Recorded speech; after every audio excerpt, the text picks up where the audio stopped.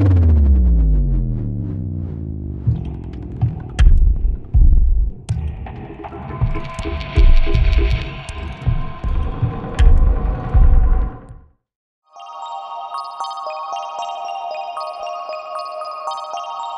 день. Благодарю всех за обратную связь. А, Ливан вообще в диком восторге. Это вот как раз тот оператор, который снимает, и благодаря кому а, появляются видео у вас в доме. Так вот, э, был вопрос о том, что такое гипертония.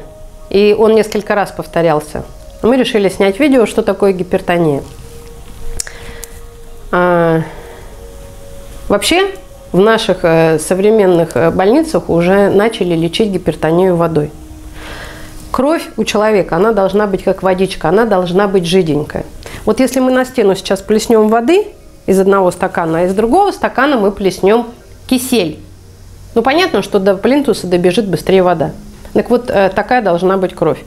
Помню, сдавала анализы лет, наверное, пять назад. У меня брали кровь, это было утро. Кровь брызнула. А, медсестра в шоке. Она, вы хорошо себя чувствуете? Я говорю, да, меня можно в космос отправлять. Ее классический вопрос, почему у вас кровь жидкая? Я говорю, вы диплом купили, наверное? Она и должна быть жидкая. Но человек работает в больнице, она уже привыкла, что у всех кровь густая. Так вот у нас кровь должна быть жидкая. И если у вас не жидкая густая кровь, то она очень туго передвигается по вашим внутренним венам, то есть это речки. И вот по этим речкам она вот с трудом как-то. А, и она очень плохо а, имеет маленькую скорость и очень плохо поступает э, к голове, к сосудам. Она очень плохо приносит питательные вещества, то есть это все туго происходит. А первое, что э, в вашей жизни, это вы не допиваете воды. Физиологию никуда не отменить, то есть если вы в двигатель будете сыпать песочек, ну, он, мягко говоря, стукнет и дальше не поедет. Мы к нашим автомобилям лучше относимся, чем к нашему здоровью. Мы вовремя меняем фильтры, вовремя меняем масло. Прокладки какие-то, там резинки, подшипники и так далее. Но мы очень плохо относимся к своему организму. То есть мы какое попало масло в зиму не льем. Но в свой организм мы льем Кока-Колу. А в Кока-Колу бросьте печени куриной на ночь к утру ее не будет. Или Кока-Колу полейте на ржавчину, ржавчины не будет. Вы знаете, я как Кока-Колу использую? Летом, если межгород съездила поздно, если мошки налетели на бампер, я бампер Кока-Колой поливаю, чтобы они разъелись. Вот так я использую Кока-Колу. Вот другого применения и нет. Так вот, э, нужно пить в течение дня водички. Хотя бы литр, это минимум. Лучше, конечно, полтора литра. Воду тоже нужно определенную пить. И вот когда вы правильно пьете воду в промежутках между еды, за 20 минут до еды и час после еды пить нельзя. То есть нужно обязательно пить воду. Недавно ко мне приходила клиентка, и она рассказывает про маму. У мамы голова болит, тут она грипп перенесла, и вот сухость во рту. Она говорит, мама, нужно пить воду. Я ее не люблю. Я вот даже не знаю, что сказать. Вот понимаете, что в этом месте сказать. Да? А человека запор, он неделю не какал, ему говорят, нужно покакать. Он говорит, я не люблю какать, мне это не нравится, там воняет. Но это все там внутри, интоксикацию. Как вы не любите? Да любите, вы не любите, какая разница? Это жизненно необходимый важный факт. Если вы не пьете воду, вы, у вас внутри интоксикация, отравление. Клеточка, клеточка внутри, она писает и какает. Ну, допустим, представьте вот это вот помещение, где мы видео снимаем, оно закрыто. Нас с Ливаном закрыли, и мы здесь вынуждены писать и какать. К вечеру уже здесь нельзя находиться. А если в окно втекает э, вода, э, как бы речка, и вытекает, и мы вот писаем и какаем воду, и это все естественным потоком вымывается, уносится, здесь можно жить. Так вот, если вы не пьете воду, клеточка вот так же внутри, она не моется, она не моется. А, хотела видео про, про гипертонию, получилось про воду. Ну, пускай как будет. Вот представьте, что вы не пьете воды вообще, но вы пьете какую-то жидкость. Суп, кофе, чай. И это все у вас спускается вниз, туда, вниз. И там у вас находятся уже отработанные материалы. Языком человеческим э, – какашки. И организм на обменные процессы, он берет жидкость, воду. Если вы ее не попили, то он вынужден ее взять. Вот он ныряет в ту грязную воду, в какашки. И вот эту отработанную из какашек воду он берет на обменный процесс. Вы не удивляйтесь, что у вас голова болит, что у вас давление. Вот это физиология, просто элементарно. Пейте воды для начала. Это первый момент. Второй момент. Э, есть психосоматика гипертонии. Что такое психосоматика? Очень элементарно. У вас есть внутренний конфликт. Э, в плейлистах есть э, подборка внутренние конфликты и способы их решения 6 видео нарезка с тренингов и женско-мужские отношения там 24 видео это тоже можно посмотреть просто так лежит вот вам в подарок в доступе в открытом так вот внутренний конфликт у вас у вас душа чувствует и осознает один процесс, а мозг диктует другой процесс. То есть у вас вот это место поругалось вот с этим. И у вас идет вот такая вот мощная война, идет внутреннее давление. Вот мы сейчас с Ливаном начнем бодаться, бороться, то есть друг друга толкать. Лева меня будет толкать, а я его. И вот это вот бодание.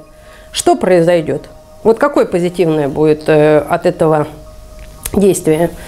Результат какой позитивный? Да никакой. Он устанет, я устану, мы упластаемся. А что мы сделали? А вот если мы это же, э, эту же энергию потратим на другое русло, ну там стену, например, э, заштукатурить, там, перенести мебель, приборку, то есть ту же энергию, но мы потратим, чтобы, допустим, приборку сделать в этой комнате. Понимаете, будет результат. А если мы друг друга толкаем, ненавидим, и да, мы друг друга уничтожим. Он меня измочалит, я его измочалю, и энергию потратим в никуда. Так вот, вы энергию тратите в никуда, вы внутри ругаетесь, у вас по какому-то, а зачастую не по одному, а по нескольким пунктам нету договоренности, нету принятия решения, согласованности души и мозга. И у вас между этим и этим идет война. Вы воюете, у вас очень много внутренних конфликтов, незаконченных дел, незавершенных, незавершенные гештальты – гештальт немецкого действия, то есть незаконченные действия. Я всегда смеюсь, покакал и попу не вытер, да, вот как-то вот так живем. Вышел из машины, машину на сигнализацию не поставил. Вот если бы э, приехал мой оператор и сейчас не поставил машину, сможет он стоять? Да у него внутри конфликт будет, понимаете, что-то не сделал, я что-то не доделал. Он даже не знает, что он ее не закрыл, но у него внутри вот эта вот паника будет. Незаконченные дела выкачивают с нас энергию. У меня накопилась часть картин незаконченных. И после Нового года был момент, у людей были каникулы, я успевала заканчивать картины, заканчивать гештальты. Вы не представляете, какой это оргазм. Я вот в соцсеть выкладывала законченные вещи. Когда ты ее заканчиваешь, это вот прилив. А когда у вас незаконченные дела, они выкачивают энергию. И когда они выкачивают энергию, она у вас внизу. То есть вы тратите эту энергию, она у вас не поднимается в высшие центры, вы внизу. У вас внизу энергия. Вы не хватает энергии звенеть. Звенеть, смеяться, радоваться жизни, как колокольчик. Я вот сегодня тоже не звеню. У меня три дня тренинг был, поэтому прошу прощения, голос подсевший, чувствуется, что энергии не хватает. Но я-то отработала. Сутки двое, я восстановлюсь мы не могли э, сегодня отменить, потому что уже несколько дней назад э, назначена была видеосъемка. Взяла себя в руки и думаю, ну, голова-то у меня на месте, все равно расскажу. Я договорилась с собой. И вообще договариваться нужно по любому поводу.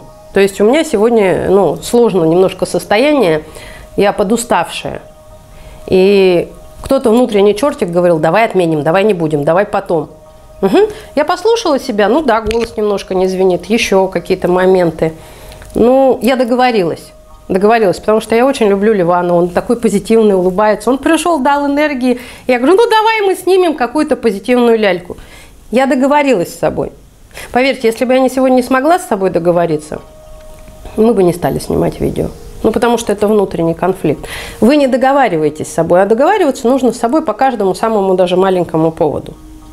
И вот когда вы не договариваетесь, вы на это тратите энергию, она у вас внизу, и вы гундите, как я сегодня видео. Вот если вы видели э, другие мои видео, вы слышите, как я там звеню, прям вот колокольчиком. Ну, я людям отдала. У меня три дня был жесткий тренинг, я отдала эту просто энергию. Мне восстановиться нужно. а вы в таком состоянии всегда живете. При том, что у меня не хватает энергии, я все равно стараюсь звенеть, радоваться жизни, вот понимаете, отдать вам этот позитив. А когда у нас энергия вниз спускается, мы начинаем гундеть, в образе пребываем, мы выкачиваем жилы с других людей, эти другие еще с кого-то. Да, мы не берем энергию от космоса. Гипертония это вообще э, легко решается. Это вот фигня вопросов. Это не тот случай. Начать пить воду и привести свои энергии в гармонию. Начать с собой договариваться. Принять здесь и сейчас. Отпустить прошлое. Мы не можем его изменить. Если вы живете в обидках, значит вы в прошлом. Если вы в страхах, вы в будущем. Сто раз уже рассказывал, в настоящем вас нет. Гипертония – это жесткий внутренний конфликт, это внутреннее сопротивление. Это вы знаете, как должно быть, а реальность не соответствует. И вы внутри быкуете, у вас внутреннее сопротивление. Благодарю вас за вопрос. Благодаря вашему вопросу была возможность вам рассказать. Всем добра и света, любви и процветания.